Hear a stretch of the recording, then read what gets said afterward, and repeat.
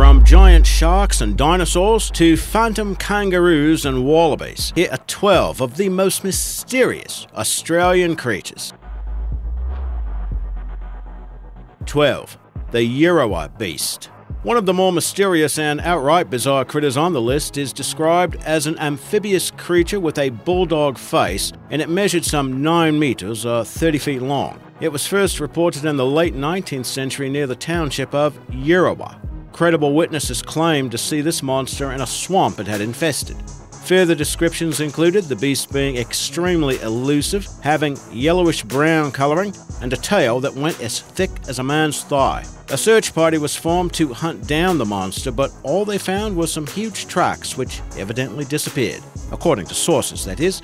A possible explanation for the creature was offered by experts. The animal could have been a specimen of Pederpes. That was a tetrapod animal that was similar to an amphibian and would have gone extinct around 350 million years ago. But those animals were said to grow to only about a meter long, or a little over three feet, and that's a far cry from witnesses' accounts. The story from 1890 was the only documented case we could find out about this animal. If you know anything about the Euroa beast, be sure and let us know in the comments below.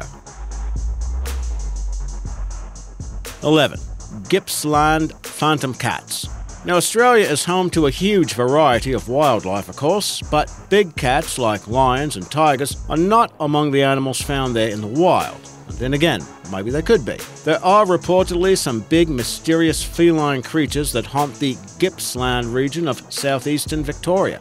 Some theories as to their identity include them being some sort of unknown species of big cat. And there might be some weight to that theory. US soldiers stationed in Victoria during the 1940s were known to keep cougars as mascots. And when the Yanks returned home, they're said to have released those creatures into the wild where they reproduced. But no definitive proof of the Gippsland phantom cat has shown up, so far anyway. 10. Drop bears. Now, here are some critters that always engender some controversy.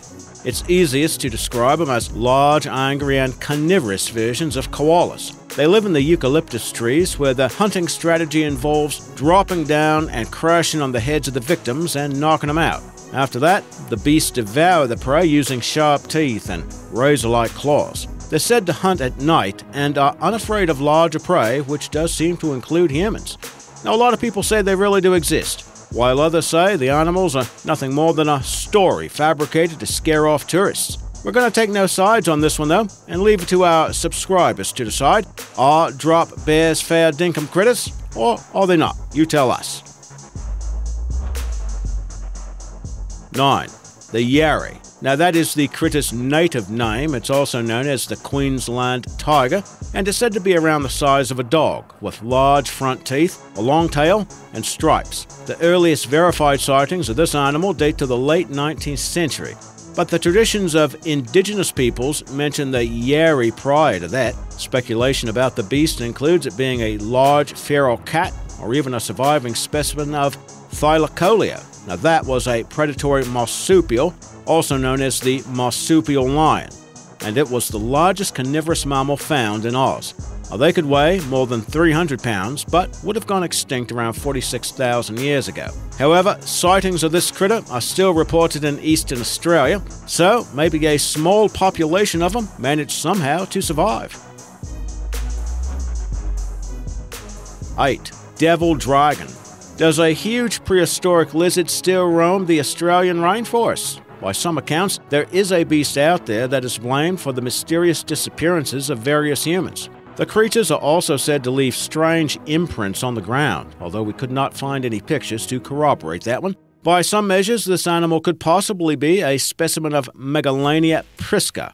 Now, weighing more than 4,000 pounds and measuring some 23 feet long, experts say it was the largest ground dwelling lizard.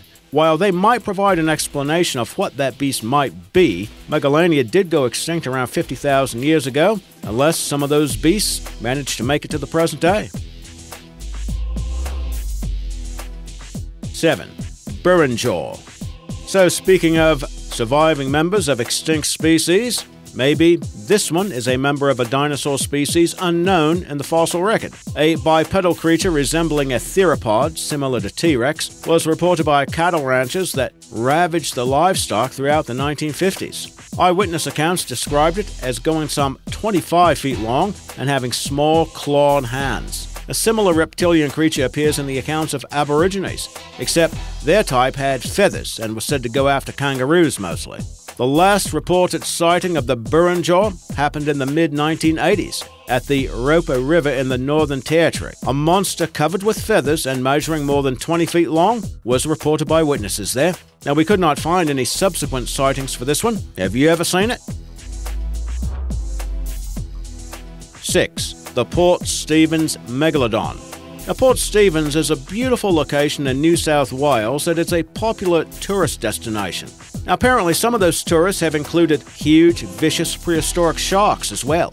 In 1918, local fishermen reported that the crayfish pots were being stolen by a shark of unbelievable proportions, their quotes.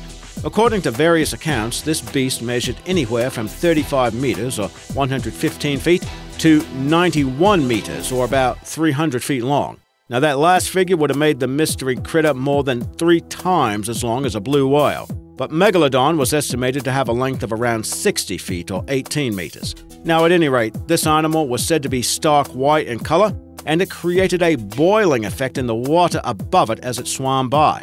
A possible explanation is that the fishermen actually witnessed a whale shark. Now, there are some unconfirmed accounts of some of those beasts reaching some 60 feet long. 5. The Bunyip this beast is believed to live close to billabongs, creeks, or swamps. Descriptions of it vary according to region, so a definitive description can be difficult to obtain. But most accounts do agree that the bunyip has flippers, tusks, and a horse like tail. It's said to make a loud, bellowing noise when approached and comes out at night to feast on women, animals, and even sometimes kids. Sightings of it date back to the 19th century, and reports also surfaced during the 1930s. Some explanations for the bunyip's identity include it being the Australasian bittern. That's a large, shy bird known for its distinctive booming call, and it is actually referred to the bunyip bird. Or maybe Diprotodon may offer a clue. Those prehistoric animals were the largest known marsupials, and some Aboriginal tribes have identified bones of those prehistoric critters as belonging to bunyips. 4. The Yowie. Sightings of this creature date back to around 1795. They were described as indigenous apes that were covered in dark fur and stood around 12 feet high. The creatures do bear some resemblance to the North American Sasquatch. While both of the beasts are reportedly bipedal, the Yowie is said to run on all four limbs as well. The sightings seem to occur the most often in New South Wales and in Queensland's Gold Coasts. Sightings of the creature have continued into the 21st century too. By some accounts, hunters have captured video of the animals using infrared cameras mounted on trees. Footprints, fur samples, and photos have also been said to have been collected. But in all that time, any definitive proof of the Yowie's existence has yet to be presented. Now, one theory does propose that the unaggressive creatures might be the remnants of some unidentified ape species thought to have gone extinct. 3. Mysterious macropods. Aside from the presence in zoos, it's hard to imagine kangaroos living in the wild outside of Oz, but there have been some reports of them or other macropods showing up in other countries. The subjects of such sightings are often called phantom kangaroos, since the species cannot often be definitively confirmed. Now, such animals have reportedly been spotted in countries including Japan. However, proof of macropods existing outside of Oz in the wild has been documented in France, and that's where a population of wallabies can be found living outside of Paris. Colonies of wallabies also exist in the UK, including Scotland. And in New Zealand, a kangaroo was reported in 1831 that stood some 9 meters tall. That's almost 30 feet. So that is quite a king sized kangaroo. Now, today, wild wallabies can be found living on New Zealand's South Island. How did these critters get to where they are? Well, most of these marsupials arrived at the foreign homes after being deliberately introduced to the region or by escaping from local zoos and breeding in the wild. 2. Mysterious macropods, American style.